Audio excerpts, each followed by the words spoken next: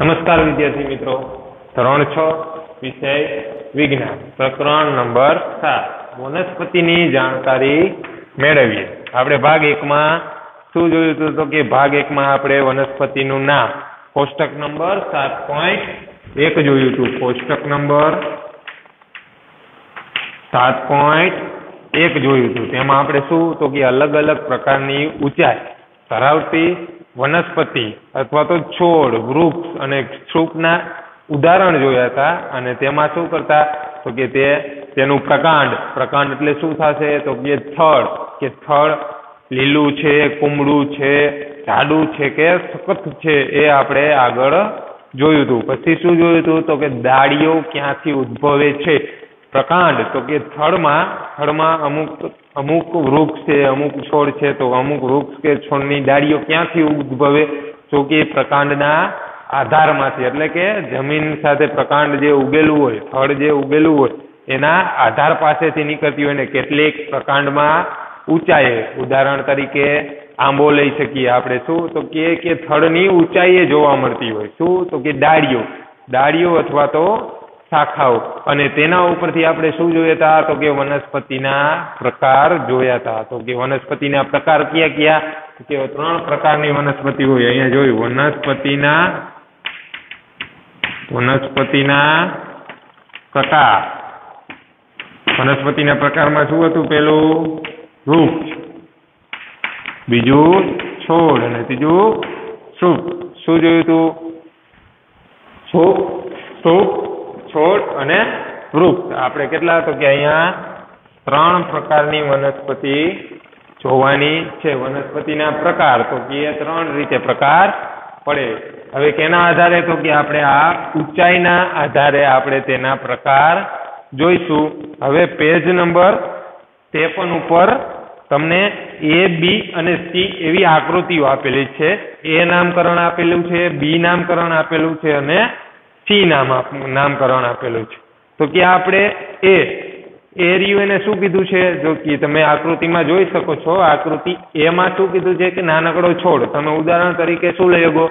તો કે ટામેટાનો છોડ લઈ શકો. પછી શ્રુપ.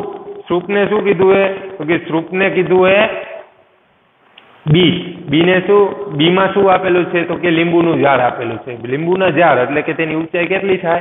તો કે તમારા જેટલી અથવા તો તમારા કરતા સહેજ ઊંચા. કેટલા? તો કે તમારા કરતા સહેજ ઊંચા. તો એવા બધે શેમાં આવશે? શ્રુપમાં આવશે. અને પછી છેલ્લે સી નંબરની આકૃતિ આપેલી છે સી તો એને શું કહીશો તમે? વૃક્ષ. વૃક્ષ વૃક્ષ એટલે તમે ઉદાહરણ શું આપી શકો? લીમડો છે, આંબો છે, નાળિયેરી છે, એ બધા શેમાં આવશે? તો કે ઊંચા એવા. તો કે તમારી ઊંચાઈથી બહુ વધારે ઊંચા એવા કેમાં સમાવેશ થાય? તો કે તે વૃક્ષમાં સમાવેશ થાય છે. હવે શું આપણે છોડ, વૃક્ષ અને વૃક્ષની આપણે શું જોશું? તો કે વ્યાખ્યા.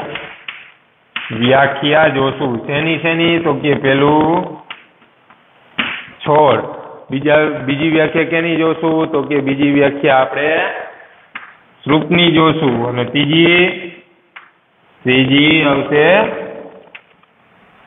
સોરી, ત્રીજી આવશે આપણે વૃક્ષની હા વૃક્ષની આવશે, ઓકે? તો આપણે પેલા શું જોશું? તો કે ત્રણેયની વ્યાખ્યા અહીંયા જોશું. છોડની રૂપની અને વૃક્ષની. આ જે હું વ્યાખ્યા તમને અહીંયા લખાવું છું, તે તમારે તમારી પાકી બુકમાં લખી નાખવાની રહેશે. જો અહીંયા પેલા હું તમને લખાવું ત્યારે અહીંયા ધ્યાન આપજો, સાથે સમજતા જાજો અને પછી વીડિયો સ્ટોપ કરીને તમે આ વ્યાખ્યા જે હું અહીંયા લખાવું છું તે તમે વ્યાખ્યા તમારી પાકી બુકમાં લખી નાખજો. ચાલો, તો પહેલા આપણે શેની વ્યાખ્યા લઈશું? જોઈશું તો કે છોડની વ્યાખ્યા. છોડની વ્યાખ્યા શું તમે આપી શકો? તો મેં તમને આગળ કીધું કે જે વનસ્પતિના શું? તો કે જે વનસ્પતિના વનસ્પતિના પ્રકાંડ. પ્રકાંડ એટલે શું થશે? તો કે પ્રકાંડ એટલે તેનું થળ. પ્રકાંડ કેવું હોય? તો કે લીલા અને કુમળા હોય. લીલા અને કુમળા હોય છે. શું? તો કે લીલા. લીલા એટલે લીલા રંગના કે એવા હોય. સોરી લીલા રંગના નહીં, પણ લીલા એટલે કે એવા એવા અહીંયા સરખામણી આપીએ કે લીલો રંગ આપીએ કે લીલા, એટલે તો કેવા કે સહેલાઈથી જેવા કુમળા સહેલાઈથી કેવા તો કે તમે તેને વાળી શકો અથવા તો તમે જાજુ એવું ખેંચો તો તે તૂટી પણ જાય એવા લીલા અને કુમળા હોય છે. તેને છોડ કહે છે. શું કહીએ તો કે તેને શું કહીશું? તો કે તેને છોડ કહે છે, આપણે છોડનું ઉદાહરણ તરીકે આગળ શું જોયું હતું? આગળના ભાગમાં, તો આગળના આગળના ભાગમાં છોડના ઉદાહરણ તરીકે આપણે ટામેટાનું ઉદાહરણ લીધું હતું. તેઓ સામાન્ય રીતે કેવા હોય? તો કે તેઓ કે તેઓ મીન્સ તેઓ મતલબ કે છોડ છોડ. તેઓ સામાન્ય રીતે કેવા હોય? તેઓ સામાન્ય રીતે નાના હોય છે, કેવા હોય છે? સામાન્ય રીતે નાના હોય છે. કેવી ઊંચાઈ કેવી હોય તો કે નાની ઊંચાઈના હોય. અને તેને વધારે શાખાઓ હોતી નથી. અને અને તેને વધારે શાખાઓ અથવા તો શું કહી શકીએ આપણે? ડાળીઓ. હોતી નથી. શું? તો કે સામાન્ય રીતે કેવા હોય? તો કે ઊંચાઈમાં નાના હોય છે અને તેને વધારે શાખાઓ હોતી નથી. એટલે કે જાજી ડાળીઓ એવી હોતી નથી. તેને આપણે શું કહીશું? છોડ કહીશું. શું કહીશું? છોડ. હજી એકવાર ફરીથી.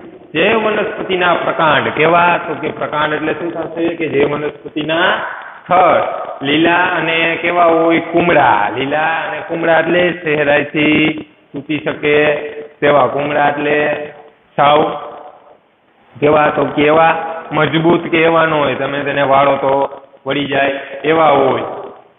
છે. કેના તો કે એવા હોય છે. છોડના પ્રકાંડ કેવા હોય તો કે લીલા અને કુમળા હોય છે. પછી તેને શું કહેવાય? તેને છોડ કહીશું તો કે જે વનસ્પતિના જે વનસ્પતિના પ્રકાંડ કેવા હોય, તો કે લીલા અને કુમળા હોય છે, તેને આપણે શું કહીશું? તો કે છોડ કહીશું. તેઓ સામાન્ય રીતે કેવા હોય? તો કે નાના હોય. કેમ નાના એટલે ઊંચાઈમાં કેવા હોય? તો કે છોડ નાના હોય. ટામેટાનો છોડ તમે જોયો છે કેટલો હોય? કેવડો હોય? તો કે ઊંચાઈમાં તમારા કરતા પણ નાનો હોય. તે ટમેટાનું ઉદાહરણ છે તો કે છોડમાં આવશે. અને તેને વધારે શાખાઓ હોતી નથી. શાખાઓ મીન્સ મતલબ શાખાઓ મતલબ શું થશે? ડાળીઓ. તેને ડાળીઓ વધારે હોતી નથી. ઓકે, તો તે બધા શેમાં આવશે? છોડમાં. હવે શેની વાત કરશી આપણે? સૂપમાં તેમાં સૂપની વાત કરશી. શું? તો કે કેટલીક વનસ્પતિઓ. કેટલીક વનસ્પતિઓ.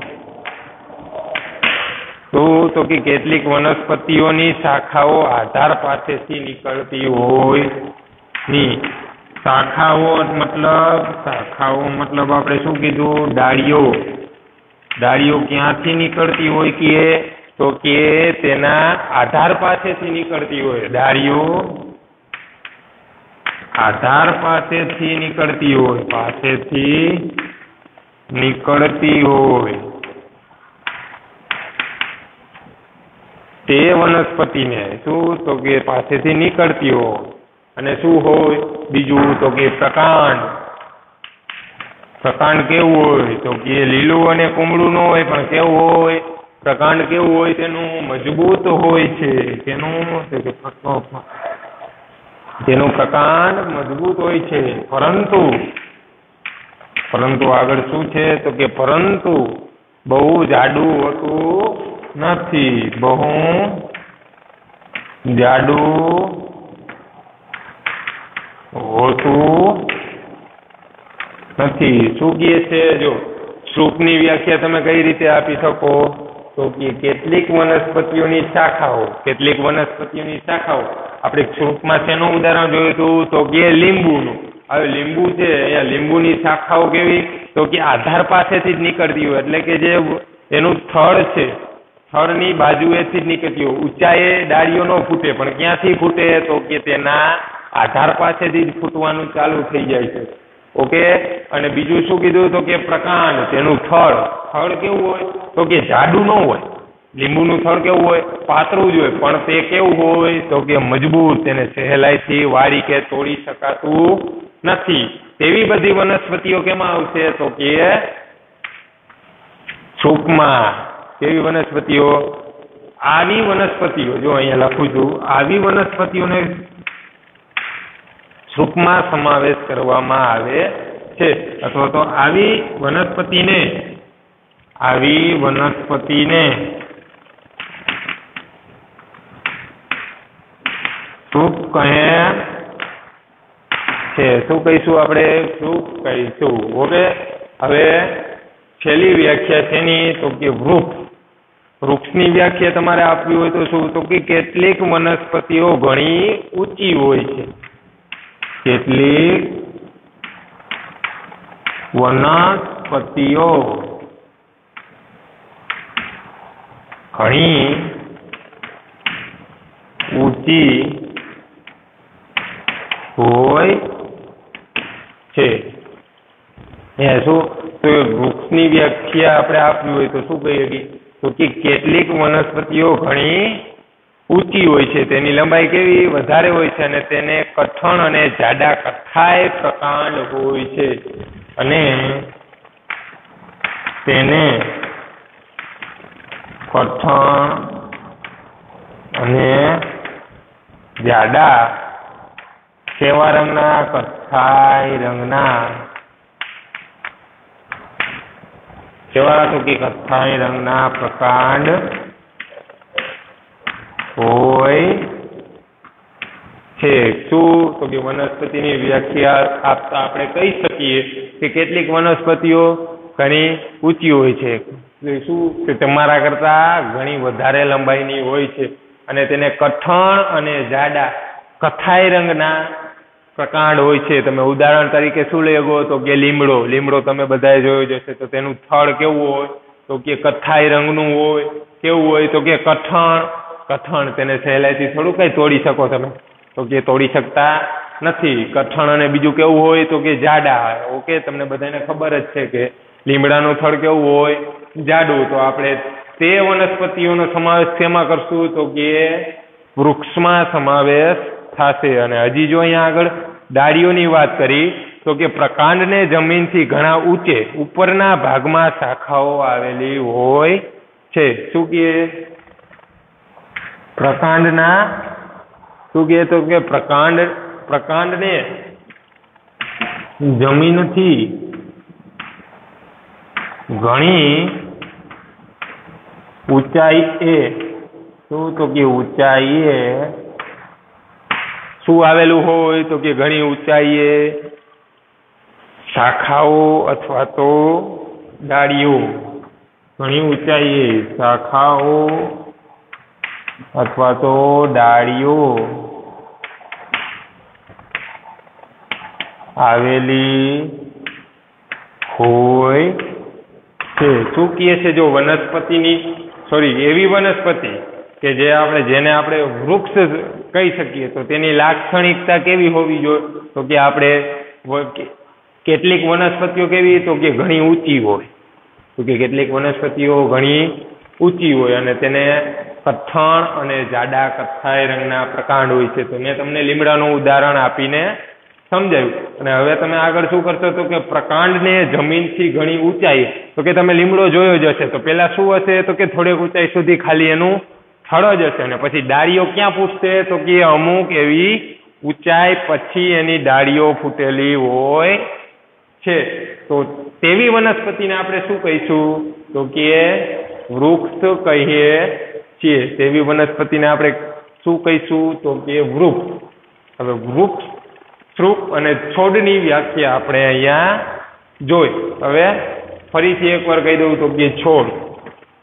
છોડ તમે કેને કહીશો? તો કે જે વનસ્પતિના પ્રકાંડ, થળ કેવા હોય તો કે લીલા અને કુમળા હોય છે. કુમળા એટલે સહેલાઈથી તૂટી જાય તેવા.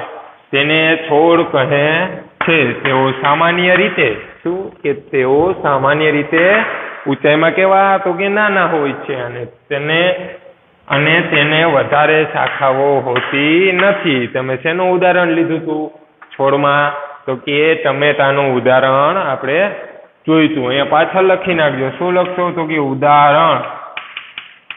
ટમેટા પછી હવે શ્રુપની વાત કરીએ તો કે કેટલીક વનસ્પતિઓની શાખાઓ. શું કે કેટલીક વનસ્પતિઓની શાખાઓ? શાખાઓ અથવા તો ડાળીઓ આધાર પાસેથી નીકળતી હોય છે. એટલે કે તમે જ્યાં છોડ, લીંબુનો છોડ હશે તો તેની આધાર પાસેથી જ કેવી હશે? તો કે ડાળીઓ નીકળતી હોય છે. અને પ્રકાંડ કેવો હોય તો કે મજબૂત હોય છે. પ્રકાંડ કેવું હોય તો કે મજબૂત. તેને સહેલાઈથી આપણે તોડી શકતા નથી. પરંતુ બહુ જાડું હોતું નથી. પણ લીંબુનું કેવું હોય તો કે પ્રકાંડ કેવું હોય? પ્રકાંડ એટલે કે થળ જાડું એટલું બધું હોતું નથી. માનો કે આટલું જ નાનકડું. તો એને આપણે જાડું કહી શકીએ નહીં. આવી વનસ્પતિને શું કહીશું આપણે? સૂપ કહીએ. છીએ. ઉદાહરણ તરીકે, શું ઉદાહરણ આપણે લઈ શકીએ? લીંબુનું ઉદાહરણ આપણે અહીંયા લઈ શકીએ. અને અહીંયા છેલ્લું આપણે વૃક્ષની વાત કરી.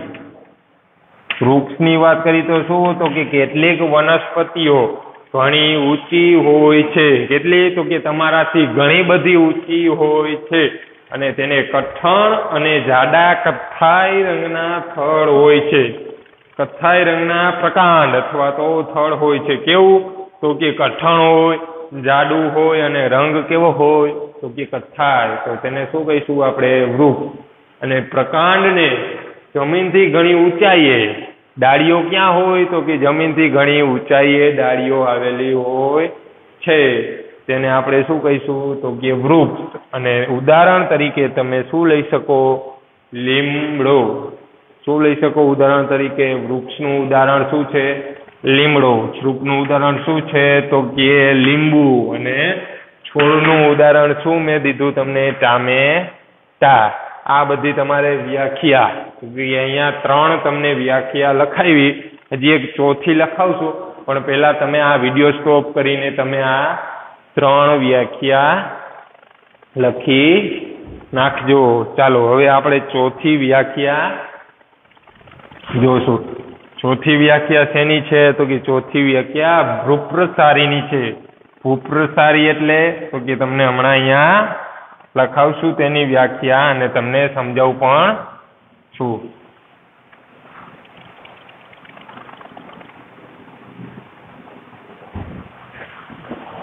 તમને ઉદાહરણ દઈને સમજાવીશ, એટલે તમે સહેલાઈથી સમજી શકશો.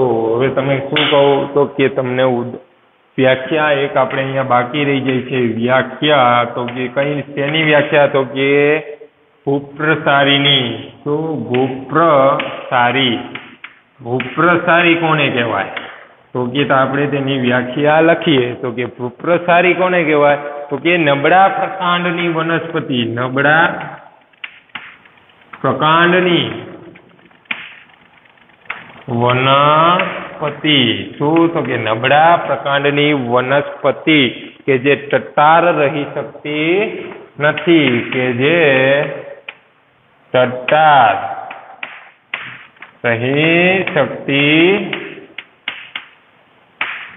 નથી. શું? તો કે જે ટટ્ટાર રહી શકતી નથી, તે જમીન ઉપર ફેલાય છે, તેને ભૂપ્રસારી કહે છે. તે જમીન ઉપર ફેલાય છે. તેને આપણે શું, કયા નામથી ઓળખી છીએ? તો કે ભૂપ્રસારી કહે છે. શું કહે છે? તો કે ભૂપ્રસારી કોને કહેવાય? ભૂપ્રસારી તો કે નબળા પ્રકાંડની વનસ્પતિ. નબળા પ્રકાંડ એટલે શું? મેં તમને કીધું. શું થા? તો કે થળ. સ્થળ એનું કેવું હોય? તો કે નબળા પ્રકારની વનસ્પતિ કે જે ટટ્ટાર રહી શકતી નથી. કે શું? તો કે સીધી રહી શકતી નથી. લીમડો હોય, લીમડાનું થળ કેવું હોય? તો કે સીધું તો કે સીધી તે રહી શકે. તો કે જ્યારે વૃક્ષની વાત કરી તો તે સીધી રહી શકે. પણ જ્યારે વૃપ્રસારી વનસ્પતિઓ હોય, તો કે નબળા પ્રકાંડની વનસ્પતિ કે જે ટટાર રહી શકતી નથી. શું તો કે તે સીધી રહી શકતી નથી. અને તે જમીન ઉપર ફેલાય છે. અને તે જમીન ઉપર ફેલાય છે. તેને ભૂપ્રસારી કહે છે. ઉદાહરણ તરીકે શું લઈ શકો તમે? તરબૂચ. તરબૂચનું ઉદાહરણ લઈ લ્યો. તરબૂચનો વેલો હોય તો તમે શું? તો કે નબળું પ્રકાંડ હોય. હા. અને તે ટટાર સીધું એવું થતું નથી અને તરબૂચ સીધા ખાવા પણ ન જોઈ જો તે પડે તો વિખાઈ જાય, ઓકે? તો વનસ્પતિ કે જે ટટાર રહી શકતી નથી અને તે જમીન ઉપર ફેલાય છે. શું થાય છે? તો કે હા, તમે તરબૂચના વેલા જોયા જ હશે. તો કે તે શું થાય? તો કે તેની પ્રકાંડ હોય, તો તેનું થળ કેવું હોય? તો કે એવું સીધું ન થાય, કેવું હોય? તો કે આમ ટટાર રહી શકે નહીં, પણ તે કેવું હોય તો કે જમીન ઉપર પથરાયેલું હોય અને શું કીધું કે આ જમીન ઉપર ફેલાયેલું હોય અથવા તો પથરાયેલું હોય, તેને આપણે શું કહીશું તો કે વૃપ્રસારી કહીશું. તેને તો કે નબળા પ્રકારની વનસ્પતિ કે જે સીધી ઊભી રહી શકતી નથી, પણ તે જમીન સાથે પથરાય છે અથવા તો જમીન ઉપર પથરાય છે. તેને આપણે શું કહીશું? ભૂપ્ર સારી અને જ્યારે આસપાસના કોઈ માળખાનો આધાર તરીકે ઉપયોગ કરી અને તે ઉપર ચડે છે, શું? બીજું આપણે જોયું તો આપણે શું કરતી? જ્યારે જ્યારે આ ભૂપ્રસારી વનસ્પતિ હોય, શું કરતી? તો કે જ્યારે આસપાસ, શું? તો કે જ્યારે આસપાસ કોઈ આધાર હોય. કોઈ શું? તો કે કોઈ માળખાનો માળખાનો આધાર હોય. શું? તો કોઈ પણ માળખાનો આધાર હોય, તો તે તો તે તો તે તે માળખાનો, તો તે માળખાનો ઉપયોગ કરીને ઉપર ચડે છે. અને તેને શું કહીશું આપણે? અને તેને વેલાઓ કહે છે. શું કહેવાય? તો કે વેલાઓ કહે છે. વેલા તો તમે જોયા જ હશે. તો અહીંયા આપણે ઉદાહરણ શેનું લઈશું? તો કે ઉદાહરણ તરીકે દ્રાક્ષનું ઉદાહરણ, દ્રાક્ષનો દ્રાક્ષનો વેલો. શું લઈશું ઉદાહરણ? તો કે દ્રાક્ષનો વેલો. હવે શું કીધું? તો કે જ્યારે આસપાસના કોઈ માળખાનો આધાર લી, માળખું એટલે માનો કે તમે દ્રાક્ષનું ઝાડ જોયું જ હશે. કે તમે શું કરશો? તો કે ગમે તે એકાદી લાકડી તમે દ્રાક્ષના છોડ પાસે રાખશો. તો દ્રાક્ષ શું થશે? તો કે તે લાકડીને ફરતે વીંટાઈ વીંટાઈને શું ચડશે? તો કે તે ઉપર ચડે છે અને તમે તેને શું કહીશો? તો કે વેલાઓ કહીશો અને તેનું ઉદાહરણ શું આપેલું છે મેં? દ્રાક્ષનો વેલો.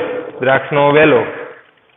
એ શું? તો કે હા, દ્રાક્ષનો વેલો હશે તે શું કરશે? તો કે લાકડી અથવા તો કોઈ પણ એક માળખું લઈ લ્યો. લાકડી આપણે શું લઈશી, તો કે માળખા તરીકે લઈશી. તો તમે લાકડી કોઈ પણ રાખ અને તમે તેની બાજુમાં શું કર્યું? તો કે દ્રાક્ષનો વેલ વાવ્યો. તો દ્રાક્ષ વધતા વધતા તે લાકડીને ફરતે વીંટાઈને ઉપર ચડશે. તો તેને આપણે શું કહીશું? તો કે વેલાઓ કહીશું.